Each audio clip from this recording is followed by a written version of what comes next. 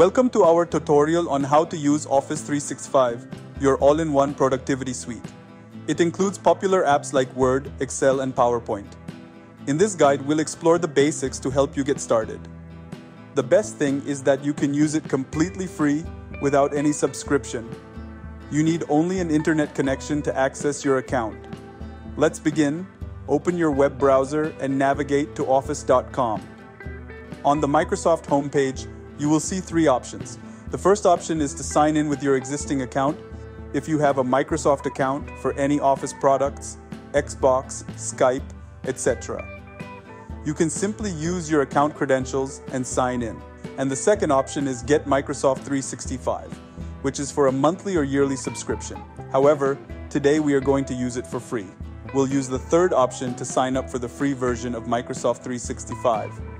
If you haven't yet created a Microsoft account, click Sign up for the free version of Microsoft 365.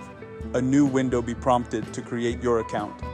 Go ahead and enter the email address that you want to be associated with your Microsoft 365. Remember, you simply need the internet connection to use Microsoft 365. It's completely free. Once you are logged in, here we are on the Office 365 dashboard. On the left-hand side, you'll find a range of apps like Word, Excel, PowerPoint, Outlook, and more. Let's start with Word Online. Now I would like to upload a document from my computer. Let's click on Upload, then select and open your Word file here on the online version of the application. You can create, edit, and collaborate on documents in real time, just like the desktop version.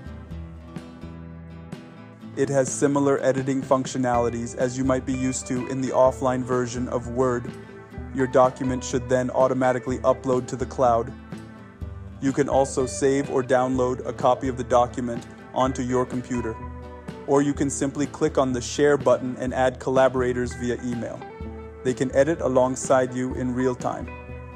Once the documents have been saved to your online account, you can access them at any time from any computer as long as you have internet access and are logged in to your Microsoft 365 account.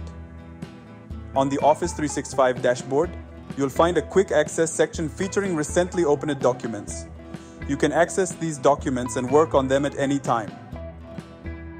Excel Online lets you work on spreadsheets from anywhere, providing access to familiar Excel features and formulas.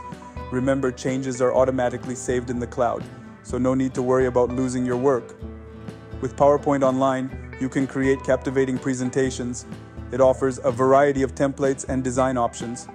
Some templates with diamond in the top right corner indicate that they are only available with a Microsoft 365 subscription.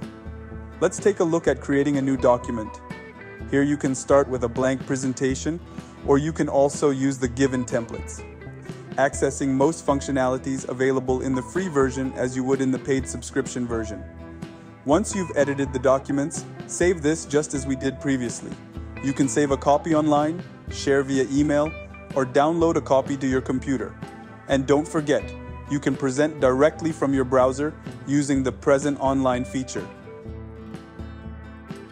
Outlook Online serves as your email and calendar hub, allowing you to manage emails, schedule meetings, and stay organized.